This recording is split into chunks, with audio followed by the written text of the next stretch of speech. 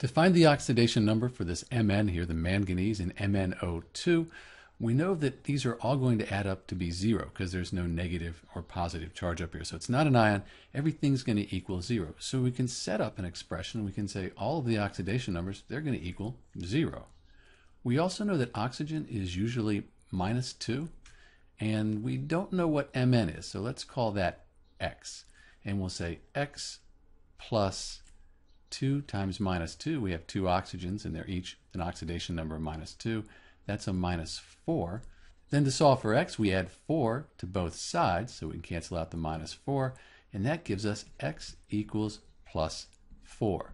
And that's the oxidation number on the manganese, the Mn, in this MnO2 compound.